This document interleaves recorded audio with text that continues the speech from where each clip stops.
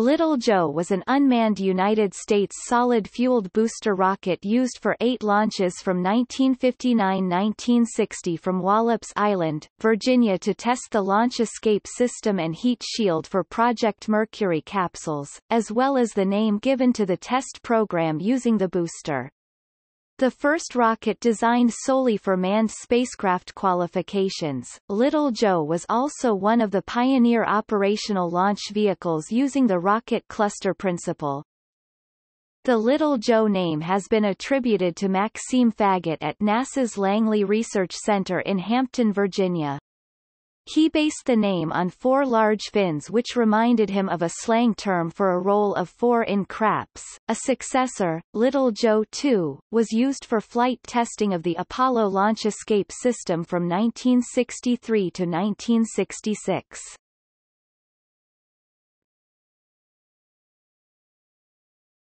Topic. Background When NASA needed a booster for the Mercury manned space program, the agency found that the Atlas rockets would cost approximately $2.5 million each and that even the Redstone would cost about $1 million per launch. The managers of the Mercury program recognized that the numerous early test flights would have to be accomplished by a far less expensive booster system. As it turned out, the Little Joe rocket NASA designed cost about $200,000 each.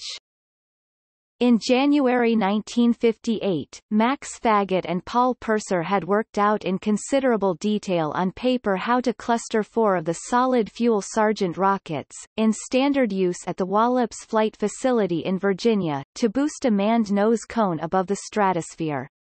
Faget's short-lived high ride proposal had suffered from comparisons with Project Adam at that time, but in August 1958 William Bland and Ronald Kolenkiewicz had returned to their preliminary designs for a cheap cluster of solid rockets to boost full-scale and full-weight model capsules above the atmosphere.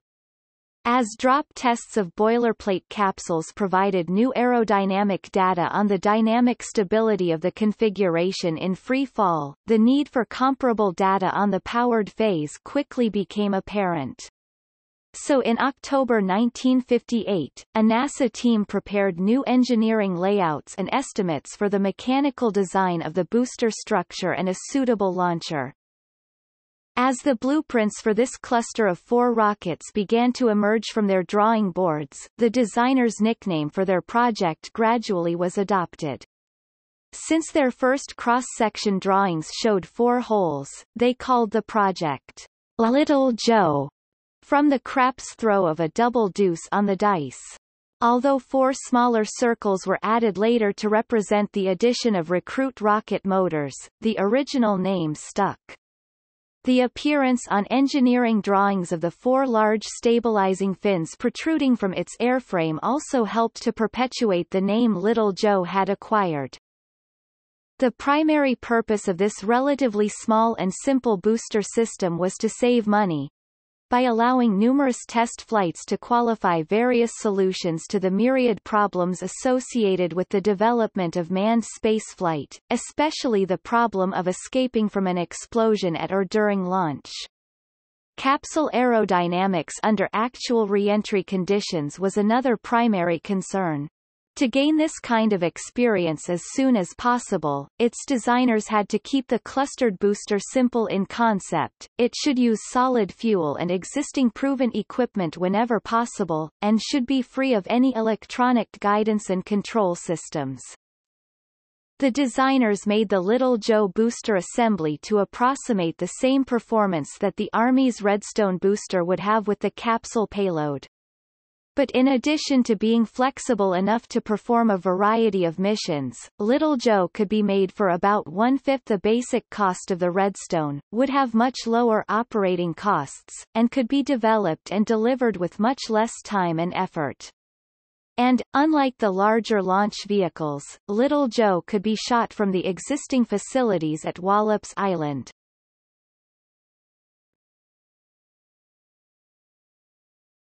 Topic. Launch vehicle development Twelve companies responded during November 1958 to the invitations for bids to construct the airframe of Little Joe. The technical evaluation of these proposals was carried on in much the same manner as for the spacecraft, except that Langley Research Center itself carried the bulk of the administrative load.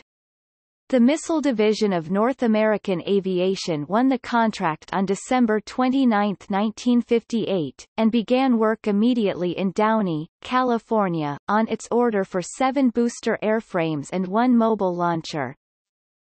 The primary mission objectives for Little Joe as seen in late 1958 in addition to studying the capsule dynamics at progressively higher altitudes were to test the capsule escape system at maximum dynamic pressure, to qualify the parachute system, and to verify search and retrieval methods. But since each group of specialists at work on the project sought to acquire firm empirical data as soon as possible, more exact priorities had to be established. The first flights were to secure measurements of in-flight and impact forces on the capsule, later flights were to measure critical parameters at the progressively higher altitudes of 20,000, 250,000, and 500,000 feet 6, 75, and 150 kilometers. The minimum aims of each Little Joe shot could be supplemented from time to time with studies of noise levels, heat and pressure loads, heat shield separation, and the behavior of animal riders, so long as the measurements could be accomplished with minimum telemetry. Since all the capsules boosted by the Little Joe rockets were expected to be recovered, onboard recording techniques would also contribute to the simplicity of the system. The first of only two booster systems designed specifically and solely for manned capsule qualifications, Little Joe was also one of the pioneer operational launch vehicles using the rocket cluster principle, since the four modified Sargents called either Castor or Pollux rockets, depending upon modification, and four supplemental recruit rockets were arranged to fire in various sequences, the takeoff thrust varied greatly, but maximum design thrust was almost 230,000 pounds 1,020 kilonewtons theoretically enough to lift a spacecraft of about 4,000 pounds 1,800 kilograms on a ballistic path over 100 miles 160 kilometers high. The push of these clustered main engines should simulate the takeoff profile in the environment that the manned Atlas would experience. Furthermore, the additional powerful explosive pull of the tractor rocket escape system could be demonstrated under the most severe takeoff conditions imaginable. The engineers who mothered Little Joe to maturity knew it was not much to look at, but they hoped that their ungainly rocket would prove the legitimacy of most of the ballistic capsule design concepts, thereby earning its own honor. A successor, Little Joe 2, would later be used for flight testing of the Apollo crew escape system.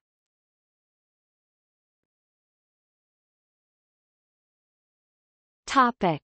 Flights As of January 21, 1960, the Little Joe series of five actual and attempted flights had expended four of the six test boosters North American had made for NASA and five prototype capsules made in the Langley shops. The primary test objectives for these solid fuel-boosted models were an integral part of the development flight program conducted within NASA by the Space Task Group, with Langley and Wallops support. Now only two Little Joe boosters remained for the qualification flight tests.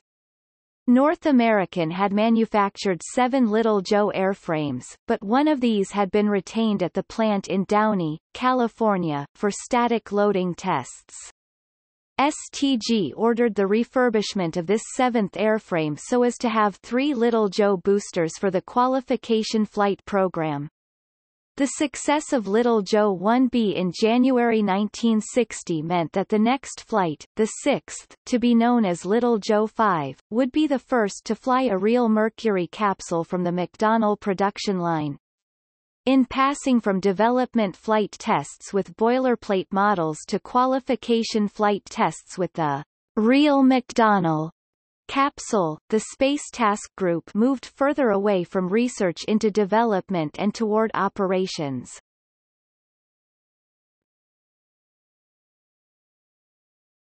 Topic. Mission numbering The official Mercury mission numbering designation was a two-letter designation which corresponded to the launch vehicle type, followed by a dash then a digit indicating the particular set of flight objectives, and an optional letter used to distinguish further flights to accomplish those objectives. So the official designation for the first Little Joe flight was LJ-1, Flights did not occur in numeric sequence as the project scheduling was adapted as it progressed. The actual flight order was Topic. Specifications Little Joe I Thrust 235,000 lbf 1044 kilonewtons Length 15.2 meters. Diameter 2.03 meters. Fin span 6.5 meters. Weight 28,000 pounds, 12,700 kilograms. Fuel solid. Burn time approximately 40 s. Recruit rocket Thiokol XM19 Thrust 37500 lbf 167 kilonewtons. Length 2.7 meters. Diameter 0.23 meters. Weight 350 pounds 159 kilograms. Fuel solid. Burn time 1.53 s Castor rocket, Thiokol XM-33 Thrust, 58,200 lbf 259 kilonewtons. Length, 6.04 meters. Diameter, 0.